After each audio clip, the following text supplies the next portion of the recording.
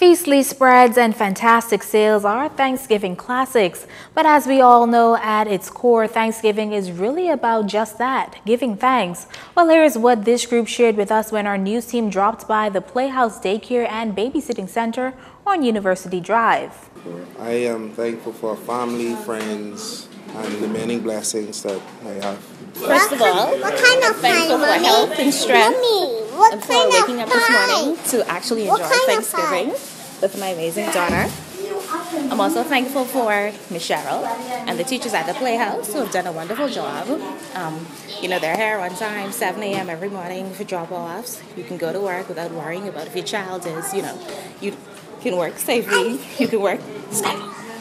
You can work knowing that your child is in good hands.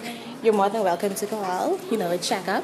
And so I'm definitely thankful for the Playhouse. I'm thankful for life. I'm thankful for my son and my beautiful family. I'm thankful for my daughter, life, health, and strength.